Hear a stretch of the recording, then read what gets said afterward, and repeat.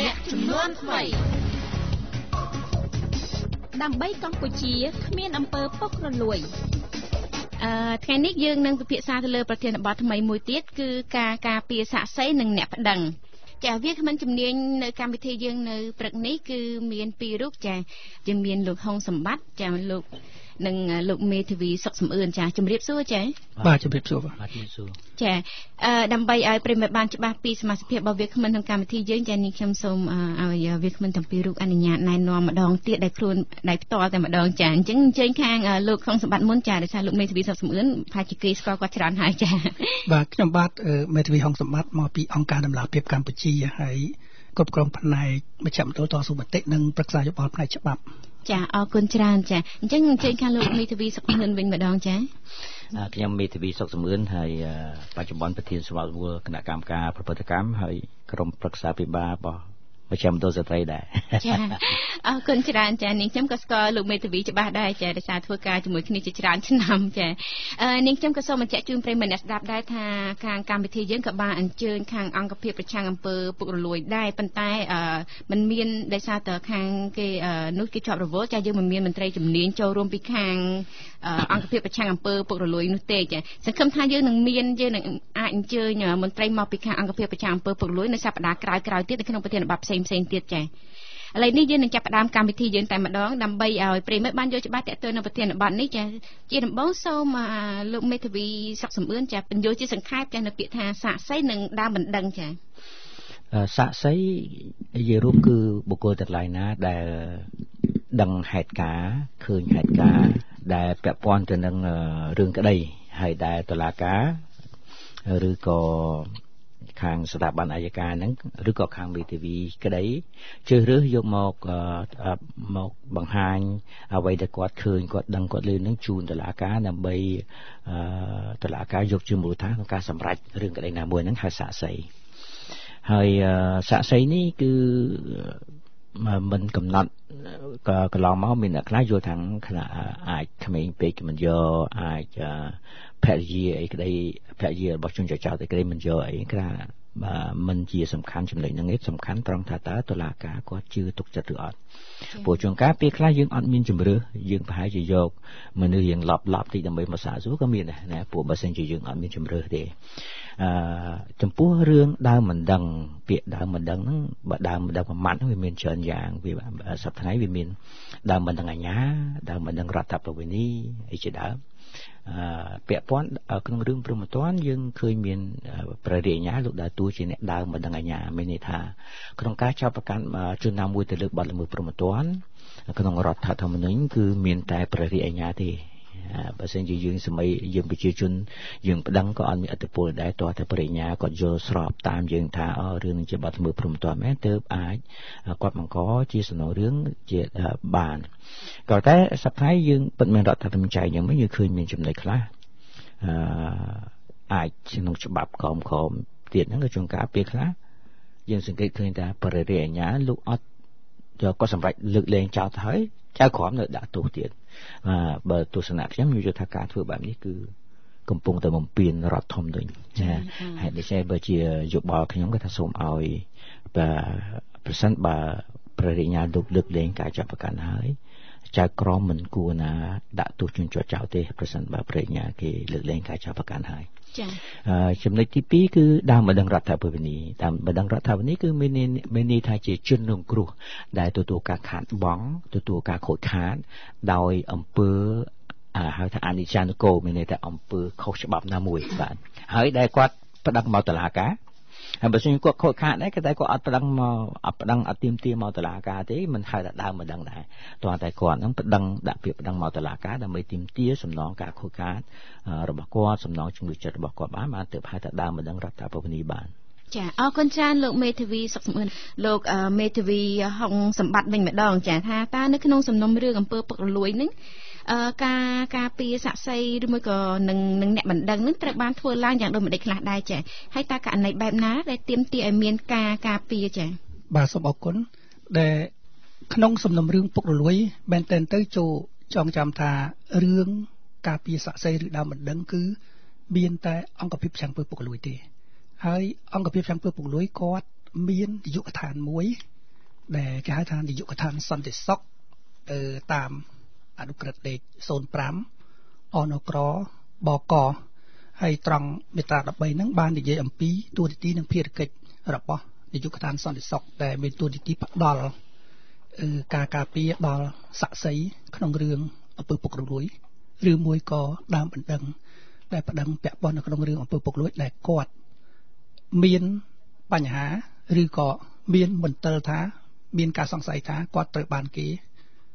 បង្ខំឬមួយក៏ត្រូវបានគេតាមនៅក្នុងរឿងបាត់បណ្ដឹងរបស់គាត់ដូច្នេះគាត់អាចស្នើសុំទៅអង្គភាព chamber ពុកលួយអឺ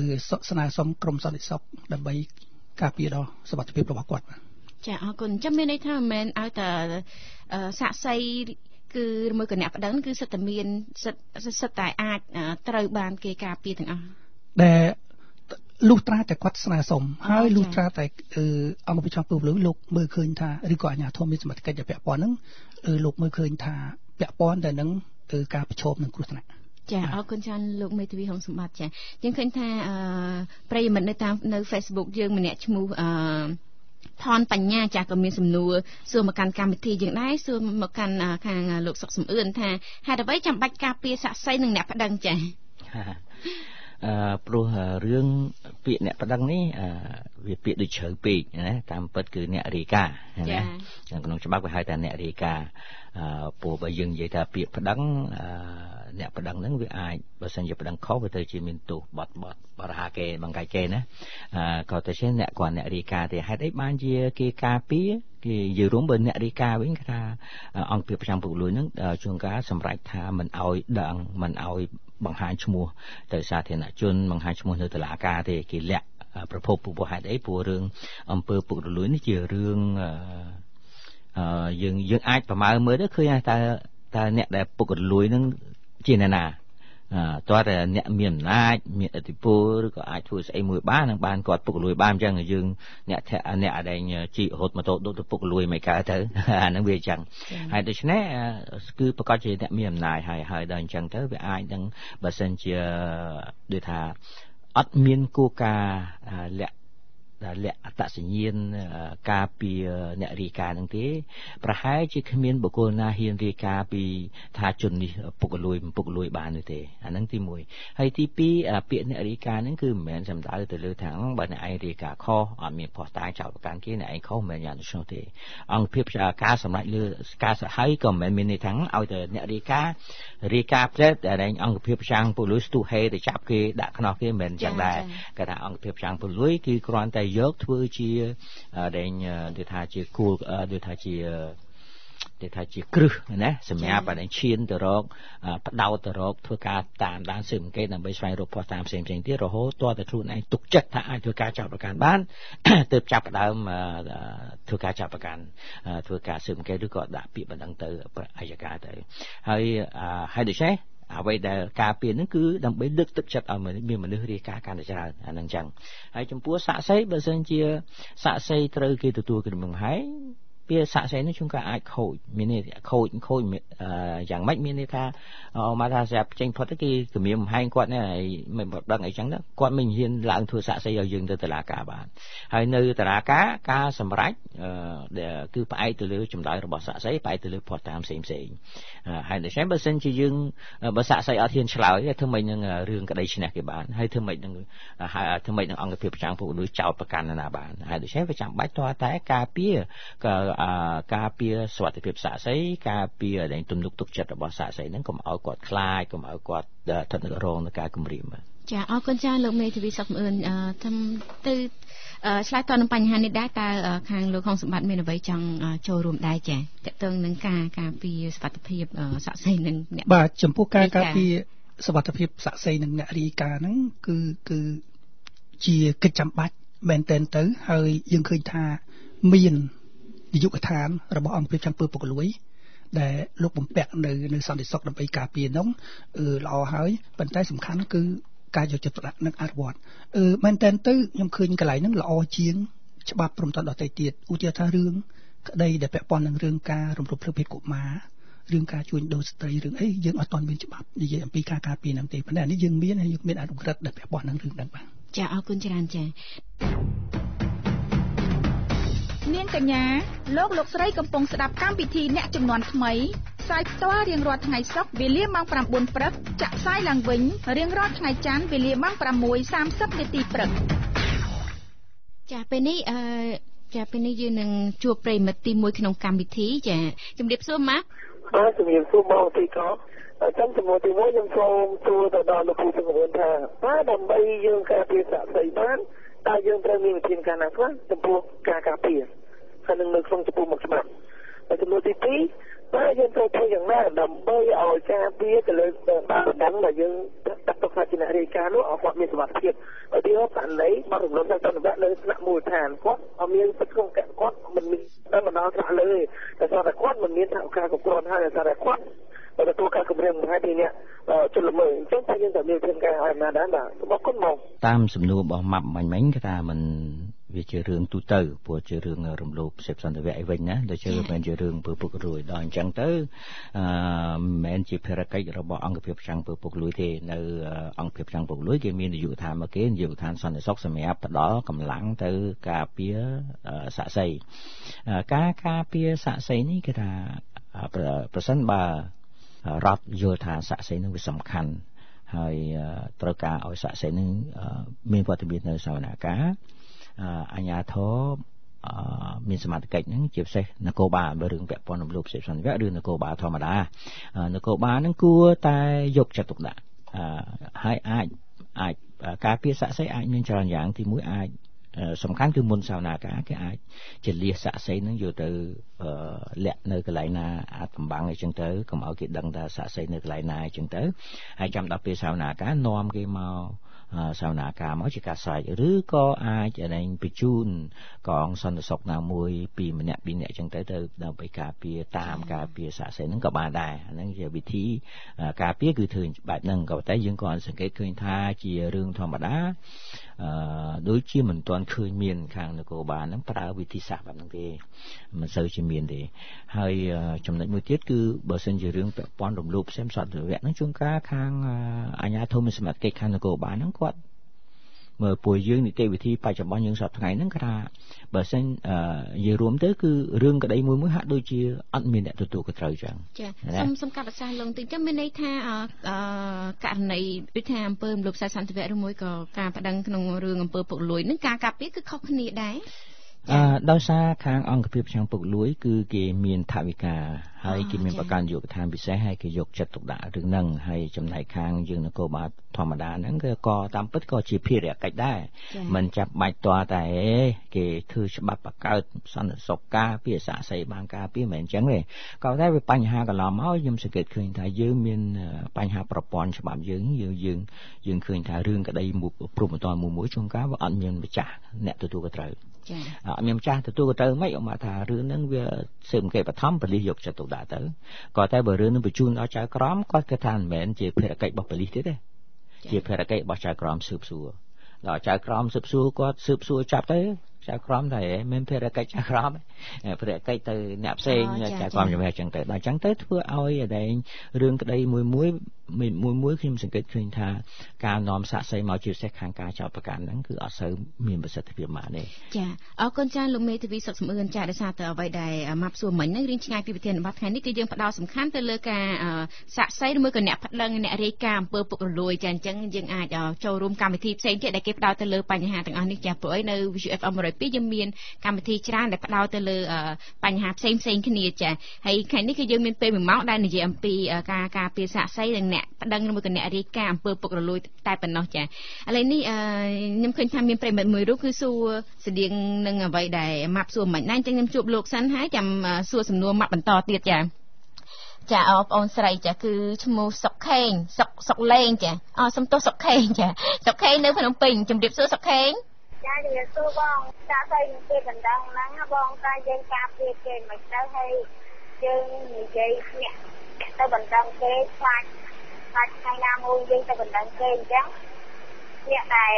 ធ្វើខុសច្បាប់អញ្ចឹងគេមកសម្លាប់អញ្ចឹងតែយើងអាចការពារគេមិនទៅបង អចាដូចគ្នានឹងអ្វីដែលម៉ាប់សួរមិញដែរឃើញថាលោកមេធាវីសុខមឿនបានបកស្រាយខ្លះហើយប៉ុន្តែអ្វីដែលសុខខេងចង់ដឹងច្បាស់ហ្នឹងគឺនៅពេលដែលយើងរាយការណ៍អំពីអំពើពុករលួយទៅតើគេមកការពារយើងមិនអញ្ចឹងហ៎ចាបងចាចាចាហើយសុកខេងធ្លាប់ក៏មានបំណងឬមួយក៏មានកម្រងថាចង់រៀបការពីរឿងអ្វីមួយដែលខ្លួនឯងបានដឹងអត់ចារៀបការរឿងអំពើពុករលួយចាធ្លាប់គិតថាចង់រៀបការអត់ខ្ញុំអត់ដឹងរៀបការអីខ្ញុំអត់ដែរមានអីត្រូវរៀបការព្រោះ ខ្ញុំអត់ដែរជួបប្រទះអញ្ចឹងហ៎បងអាចាចាថ្ងៃនេះយើងនិយាយតាក់ទងនឹងអំពើពុករលួយអញ្ចឹងមានថាសុខេអត់ដែរជួបប្រទះនឹងរឿងអំពើពុករលួយអីទេចាបងចាអរគុណច្រើនចាយើងដឹងទុកឲ្យហើយក៏បានដែរចាអញ្ចឹងមានតែប៉ុណ្្នឹងទេណាចាបងអរគុណណាជម្រាបលាណាសុខេងចាបងជម្រាបលា ចាឃើញថាមិញនេះគឺអឺលោកមេធាវីអុកសុកសំអឿនបានបកស្រាយខ្លះហើយតាក់ទងនឹងបញ្ហានេះអញ្ចឹងសូមលោកមេធាវីហុងសម្បត្តិចាចូលរួមបន្ថែមទៀតចាតកតទៅនឹងការការពៀនសាក់សីហើយនឹងអ្នកប្តឹងដោយមិនដេចដែរចាតកតទៅនឹងអង្គើពុករលួយនេះចាបាទសូមអរគុណមែនតើទៅខ្ញុំដូចជាអត់មានអីបន្ថែមទេព្រោះលោកនាយកសុខមង្គលគាត់បានបកស្រាយហើយក៏ប៉ុន្តែអឺយើងឃើញថាពាក់ព័ន្ធនឹងរឿងពុករលួយដែលអង្គភាពខាងពុករលួយលោកមាន ថាវិការនឹងមាននាយកដ្ឋានដែលគ្រប់គ្រងផ្នែកខាងនឹងត្រង់ថាយន្តការចែងលម្អិតឬក៏បង្ហាញអំពីថារបៀបការពារសមត្ថភាពការពារនិងការពាររបៀបម៉េចយើងក៏អត់ទាន់មានបទពិសោធន៍យើងក៏អត់ទាន់ឃើញថាការការពារស័ក្តិសិទ្ធិហ្នឹងដល់កម្រិតណាយ៉ាងណាដែរបាទមែនតើទៅបើសិនជាបានខាងអង្គភាពខាងពើពុកលួយលោកមកបង្ហាញពីខាងហ្នឹងគឺជាពូវិជារឿងបច្ចេកទេសមួយអឺ ចំណុចខ្លះយើងក៏អាចស៊ីជម្រៅដល់នឹងដែររឿងបច្ចេកទេសនៃការការពារការពាររបៀបម៉េចនោះត្រង់ថាការពារបំភាសស័ក្តិសិទ្ធិបង្ហាញអីយ៉ាងម៉េចដូចជាលោកនាយកគាត់បានជម្រាបជូនហើយហើយបាទ ចាអរគុណអញ្ចឹងខ្ញុំសូមបន្តទៅសំណួរម៉ាប់មួយទៀតដែលម៉ាប់លើកឡើងថាឃើញថានៅថ្នាក់មូលដ្ឋានខ្លះមានអំពើពុករលួយអញ្ចឹងហើយថ្នាក់ក្រោមនឹងមើលឃើញប៉ុន្តែដោយសារតែថ្នាក់លើជាអ្នកដែលធ្វើឲ្យមានអំណាចមានលុយអញ្ចឹងធ្វើឲ្យហើយមានការគម្រាមកំហែងមកថ្នាក់ក្រោមទៀតធ្វើឲ្យថ្នាក់ក្រោមនោះមិនហ៊ានក្នុងការប្តឹងមួយក៏រាយការណ៍អញ្ចឹងតើធ្វើម៉េចដែរដើម្បីឲ្យគេនឹងមានអារម្មណ៍ថាមានសុខភាពហ៊ានប្តឹងហ៊ានរាយការណ៍នោះចាអញ្ចឹងនាងសុំសុំជួយបន្តទៅលោកខាងលោកមេធាវីហុងសម្បត្តិចាបាទ អាស្រ័យអញ្ចេះមែនតើទៅអាស្រ័យលើបុគ្គលខ្លួនឯងដែលគាត់មានឆន្ទៈឬក៏មានស្មារតីចូលរួមក្នុងការគឺប្រយុទ្ធប្រឆាំងនឹងអំពើពុករលួយនឹងឲ្យអត់បើសិនជាគាត់ចង់ប្តឹងនរណាម្នាក់ទោះបីថ្នាក់លើក៏ដោយថ្នាក់ក្រោមក៏ដោយនរណាម្នាក់ក៏ដោយអាស្រ័យលើគាត់ចេះកំណត់ឲ្យគាត់មានផុសយើងយើងអត់អាចនិយាយថាឈានដល់ផុសតាំងតម្រុយយើងអាចអាចថាព័ត៌មានឬតម្រុយរឹងមាំតែគាត់អាចនេះបានហើយអឺមែនតើទៅប្រសិនបើករណីនោះគាត់ជឿជាក់លើស្ថាប័ន របស់អាជ្ញាធរមានសមត្ថកិច្ចអានឹងគាត់អាចធ្វើដំណើរការនឹងបានដែរ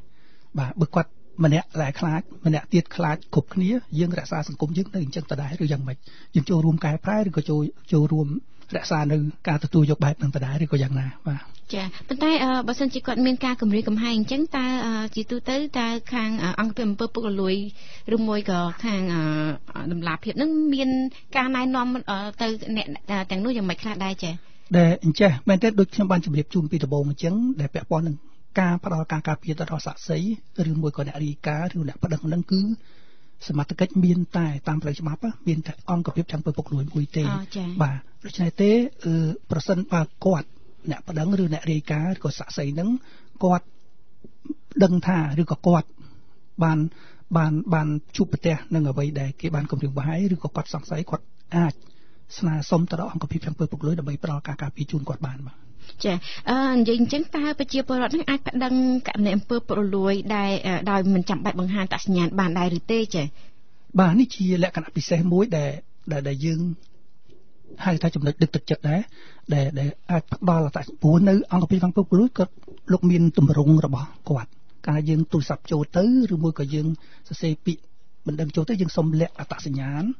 លាក់អីគេនឹងលាក់ជូនឲ្យគេអត់បញ្ចេញអត្តសញ្ញាណរបស់គាត់ទេបាទអញ្ចឹងជាជាស្វ័យប្រវត្តិហើយតាមព្រឹងច្បាប់គេត្រូវការពារគេអត់បញ្ចេញអត្តសញ្ញាណនឹងទៅភាគីណាមួយដើម្បីឲ្យលេចលឺចេញបាននេះបាទចាអញ្ចឹង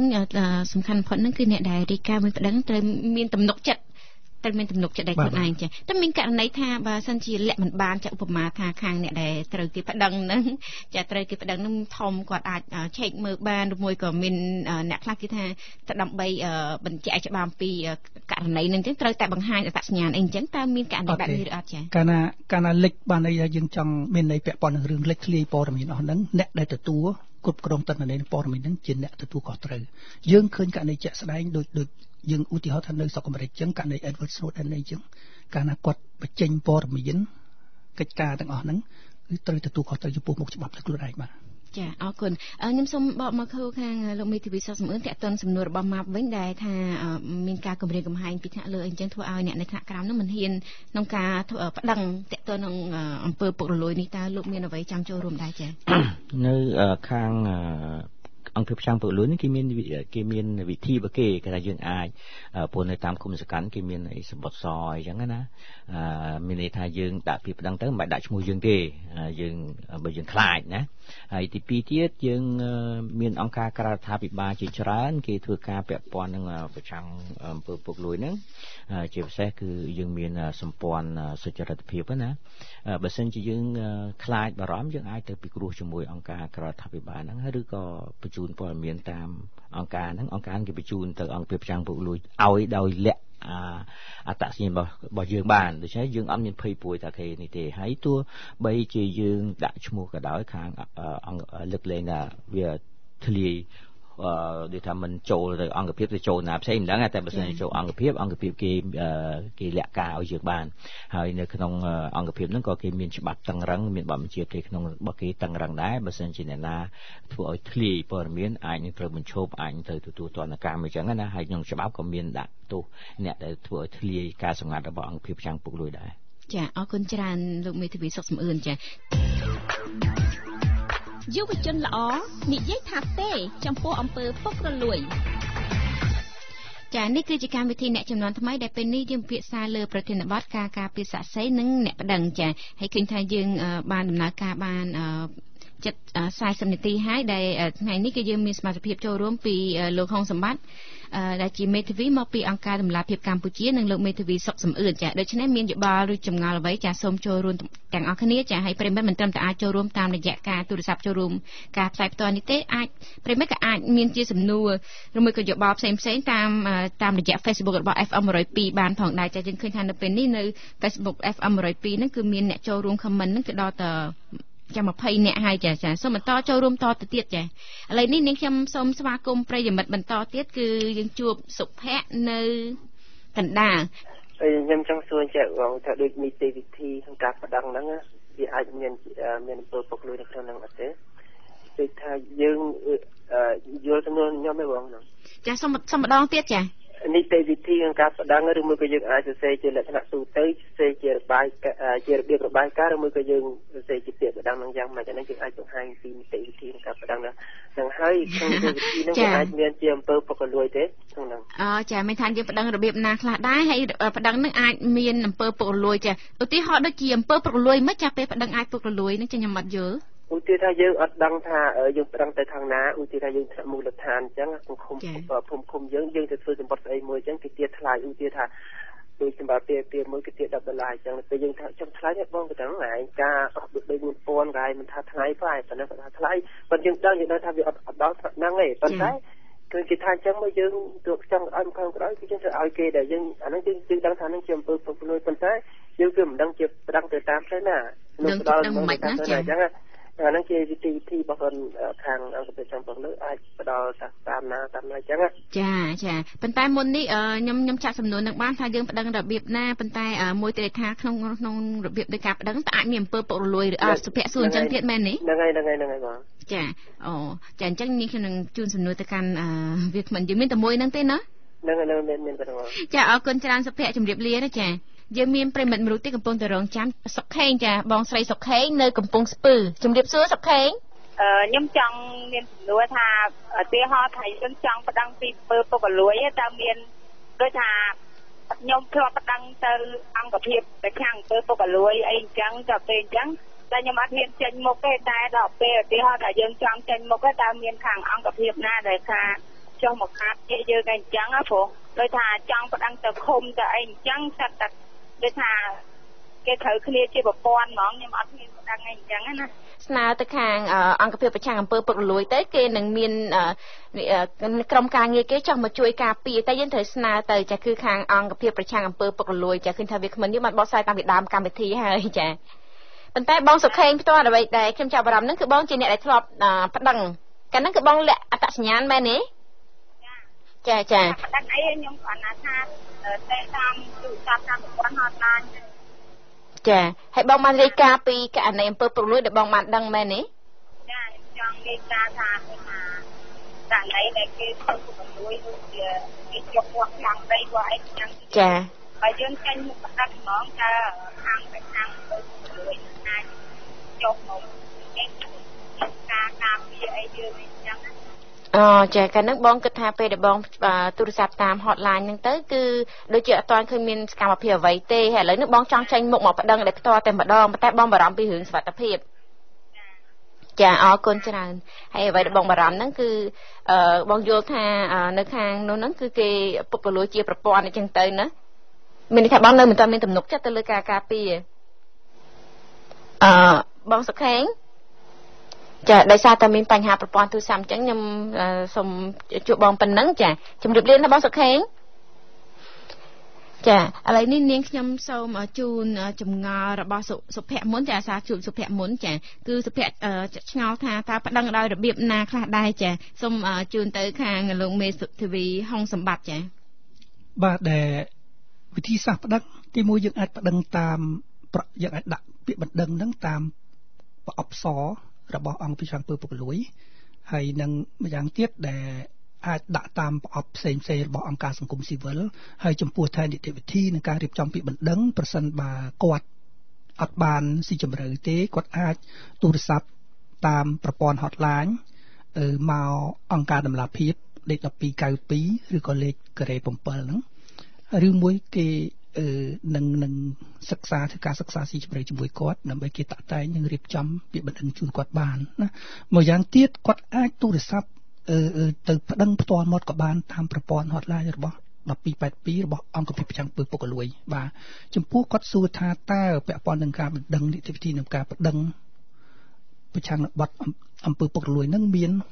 ពុករលួយនៅក្នុងនឹងឯអត់បាទអឺយើងយើងអត់អាចនិយាយថាមានឬក៏អត់ទេប៉ុន្តែប្រសិនណាករណីមាននឹងទទួលទោសដូចគ្នានឹងជាអំពើពុករលួយដូចគ្នាបាទហើយមានបណ្ដឹងគេរកឃើញអឺមានទោសដូចគ្នាបាទទោះបីអង្គភាពចាំងពើពុករលួយក៏ដោយកាលណារកឃើញថាមានការពុករលួយនៅក្នុងហ្នឹងលោកក៏ត្រូវទទួលទោសដូចពួកគាត់ក៏ជាប្រជាពលរដ្ឋទទួលខុសត្រូវចំពោះមុខច្បាប់ដូចគ្នាបាទ ចាអរគុណច្រើនចាហើយអឺយើងឃើញថាប្រិមត្តទី2យើងមិញហ្នឹងលោកអឺបងស្រីបានលើកឡើងថាធ្លាប់បានខលទៅទូរស័ព្ទទៅប្រព័ន្ធ hotline ហ្នឹងហើយប៉ុន្តែដូចជាអត់ទាន់អឺបានរាយការណ៍តាមអឺប្រព័ន្ធ hotline ហ្នឹងហើយប៉ុន្តែអត់ទាន់ឃើញមានសកម្មភាពអ្វីអញ្ចឹងទៅបងស្រីមិនអស់ចិត្តចង់ចេញមុខមកប្តឹងអញ្ចឹងអឺតើខាងអង្គភាពប្រឆាំងអំពើពុករលួយនឹងអាចការពារសុវត្ថិភាពបងស្រីបានអត់ព្រោះអីបងស្រីគឺនៅខេត្តកំពង់ស្ពឺចាហើយអឺអឺបើសិនជាប្តឹងហើយតើមានរបៀបរបបមិនខ្លះដែរដែលធ្វើឲ្យបងស្រីមានអារម្មណ៍ថាមានសុវត្ថិភាពចាបន្ទាប់ពីរាយការណ៍រួចហើយចាដូចគ្នាបានជម្រាបជូនពីមុនហើយថាប្រសិនបើអឺបងស្រីសុខេងគាត់ជួបប្រទះហើយគាត់ធ្វើក្រោយពីគាត់ធ្វើបណ្ដឹងគាត់ជាប់ជួបប្រទះឬក៏ប្រឈមនឹងការគម្រាមកំហែងណាមួយពាក់ព័ន្ធនឹងបណ្ដឹងហ្នឹងគាត់អាចสนុំពរឬមួយក៏គាត់អាចរាយការណ៍ពីករណីហ្នឹងទៅអង្គភាពចាំពើពុកលួយទៅនាយកកថានផ្នែកសន្តិសុខរបស់ ខាងអង្គភាពចាំពើពុកលួយហើយនឹងគេនឹងចាត់វិធានការការពារជូនគាត់បាទចាដូចជាករណីអឺបងសុខេននៅកំពង់ស្ពឺអញ្ចឹងឥឡូវហ្នឹងគាត់ចង់ចេញមកមុខប្តឹងតែផ្ទាល់ចាគាត់អត់បារម្ភពីការថាត្រូវលាក់អត្តសញ្ញាណអីទៀតទេតើបងស្រីទៅតាក់ទងទៅខាងណាដែរលោកចាបាទបើសិនជាគាត់អាចតាក់ទងផ្ទាល់ទៅអង្គភាពចាំពើពុកលួយហើយណាមួយបើសិនជាគាត់ត្រូវការជំនួយផ្សេងផ្សេងៗផ្នែកអឺរៀបចំពីបណ្ដឹងផ្នែកច្បាប់ផ្នែកអីយ៉ាងម៉េចគាត់អាចតាក់ទងមកអង្គការសង្គមស៊ីវិលបានដោយបានជម្រាបជូនមិញអញ្ចឹងបាទ ចាចាមានលេខទូរស័ព្ទណាមួយដែលអាចតាក់ទងបានឬអត់ចាបាទដែលបើសិនជាទូរស័ព្ទមកផ្នែកអង្គការដំឡាភិបកម្ពុជាគឺលេខ1292ហើយនិងលេខការ៉េ7មកមជ្ឈមណ្ឌលតស៊ូមតិនិងប្រឹក្សាយោបល់ផ្នែកច្បាប់ជាពិសេសពាក់ព័ន្ធនៅនឹងអង្គើពុករលួយបាទ ចាអរគុណអញ្ចឹងសង្ឃឹមថាបងសុខេងបានកាត់លេខនឹងទុកហើយចាគឺអាចទូរស័ព្ទទៅខាងនោះដែរផ្ទាល់ចានៅពេលដែលទៅគឺមិនពិបាកទេគេមានក្រុមការងារដែលផ្ដល់ជំនួយតាក់ទងនឹងរបៀបរបបនឹងថាត្រូវធ្វើយ៉ាងណាដើម្បីស្នើសុំឲ្យមានការការពារចាដូច្នេះកម្មវិធីយើងសង្ឃឹមថាប្រិមិត្តនឹងបន្តទូរស័ព្ទចូលរួមបន្តទៀតចានាងខ្ញុំសូមមានជាសំណួរទៅកាន់អឺលោកលោកមេធាវីសុកសំអឿនបន្តទៀតថាតើការលាក់មុខសាក់សីនឹងមានគុណសម្បត្តិឬមួយគុណវិបត្តិបែបណាខ្លះដែរចា៎ លាក់អឺនេះយើងលាក់សាក់សីអញ្ចឹងណាអឺសាក់សីបើយើងលាក់ហ្នឹងមិននឹងគោលដៅអ្នកសួរហ្នឹងលាក់វាមិនបើបើសិនលាក់នៅតុលាការ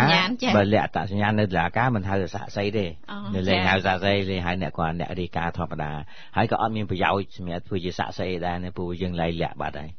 អឺហើយដូច្នេះវាមានតែការពារសាក់សីរហូតដល់ពេលសាវនាការហើយអត្តសញ្ញាណរបស់សាក់សីហ្នឹង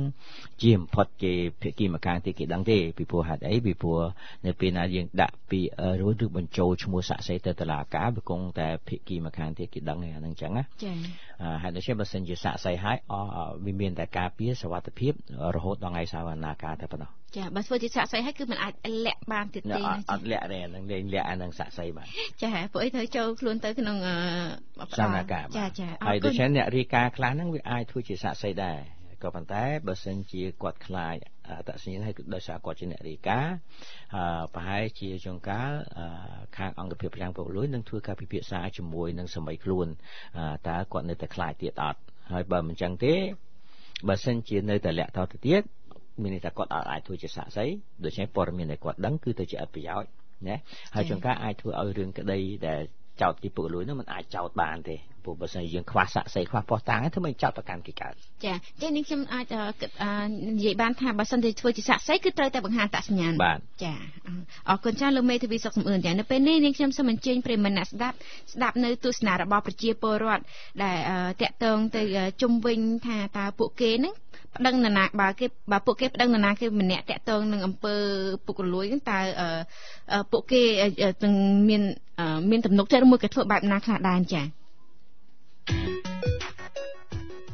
បើសិនជាមានអំពើពុករលួយកើតឡើងខ្ញុំហ៊ានប្តឹងតាមរយៈលេខទូរស័ព្ទដូច12 82 1292និងចិន7ចិន7ពេលដែលយើងនិយាយទៅប្តឹងគឺគេជួយលក្ខការសម្ងាត់ឲ្យយើងទៀតបើមានអំពើពុករលួយនឹងកើតឡើងខ្ញុំនឹងផ្សព្វផ្សាយដល់មិត្តភ័ក្តិខ្ញុំឬក៏មិត្តរួមថ្នាក់ទាំងអស់លោកគ្រូអ្នកគ្រូអញ្ចឹងចាឲ្យគាត់បានដឹងបើសិនជាអំពើពុករលួយកើតឡើងនៅក្នុងមូលដ្ឋានរបស់យើងខ្ញុំយើងខ្ញុំនឹងហ៊ានប្តឹងព្រោះយើងគិតថាសង្គមយើងការវិវត្តពីមួយថ្ងៃមួយថ្ងៃគឺយើងទាមទារឲ្យមានការស្អាតស្អំចាបើមានអំពើពុករលួយហ្នឹងបើឲ្យខ្ញុំចេញមុខទៅប្តឹងខ្ញុំអត់ហ៊ានប្តឹងទេចាបើមានអំពើពុករលួយកើតឡើងខ្ញុំអាចប្តឹងបានព្រោះយើងអាចនិយាយជាសម្ងាត់បានបើសិនជាមានអំពើពុករលួយហ៊ានប្តឹងព្រោះយើងដែរក្នុងសង្គមខ្មែរយើងសប្តាហ៍យើងមានបណ្ដាញព័ត៌មានច្រើនអញ្ចឹងយើងអាចប្តឹងតាមវិទ្យុឬតាមស្ថាប័នផ្សេងៗបើមានអំពើពុករលួយនៅក្នុងភូមិឃុំខ្ញុំខ្ញុំមានប្តឹង ចាប្រិមិត្តទៅតបានស្ដាប់ទស្សនៈរបស់ប្រជាពលរដ្ឋថាតើពួកគេហ៊ានប្តឹងដែរឬអត់បើសិនជាពួកគេមើលឃើញអំពើពុករលួយចាឃើញថាការចូលរួមនឹងគឺសុទ្ធតែហ៊ានប្តឹងទាំងអស់ចាចាតាមពិតយើងគួរតែហ៊ានពួកអីយើងមានការការពារបានយ៉ាងរឹងមាំចាពីអង្គភាពប្រឆាំងអំពើពុករលួយតាមរយៈកម្មវិធីយើងគឺប្រិមត្តបានដឹងអស់ហើយពីនីតិវិធីទាំងអស់នេះឬមួយក៏បើសិនជានៅមិនច្បាស់ទេគឺអាចទូរស័ព្ទទៅ10ទៅ12 92ចាដើម្បីសួរព័ត៌មានបន្ថែមចា ចង់ដឹងពីការផ្ដាំផ្ញើឬមួយក៏អនុសាសន៍ផ្សេងផ្សេងរបស់វាគ្មិនយើងជុំវិញការការពារស័ក្តិសិទ្ធិនិងអ្នកប្តឹងនេះតើត្រូវធ្វើបែបណាដែរដើម្បីលើកទឹកចិត្តឬមួយក៏ឲ្យប្រជាពលរដ្ឋយើងនឹងមានទំនុកចិត្តថាពេលដែលខ្លួនឯងប្តឹងឬមួយក៏រាយការណ៍ពីករណីអំពើពុករលួយនឹងហើយគឺមានសវត្ថភាពហើយមិនហើយដំណើរការទាំងអស់នោះគឺអាចទទួលបាននូវភាពយុត្តិធម៌ឬមួយក៏ទទួលបានអ្វីដែលខ្លួនឯងបានចង់បាននោះចាអញ្ចឹងសូមខាងលោកមេធាវីហុងសម្បត្តិចាបាទសូមអរគុណចង់បញ្ចប់ ចេះសូមរឿងសំខាន់គឺសូមលើកទឹកចិត្តប្រជាពលរដ្ឋឲ្យចូលរួមប្រយុទ្ធប្រឆាំងនឹងអំពើពុករលួយហើយសូមជឿជាក់ថាអង្គភាពខាងអំពើពុករលួយហើយច្បាប់យើងហើយអាជ្ញាធរមានសមត្ថកិច្ចក៏លោកមាននាយកដ្ឋានសន្តិសុខហើយមានយន្តការការពារទៅដល់អ្នករីកាអំពីអំពើពុករលួយក៏ដូចជាសាក់សីនៃអំពើពុករលួយដែរបាទអញ្ចឹងទេសូមឲ្យ ចូលរួមទាំងអស់គ្នាដើម្បីសង្គមយើងស្អាតស្អំបាទសូមអរគុណចា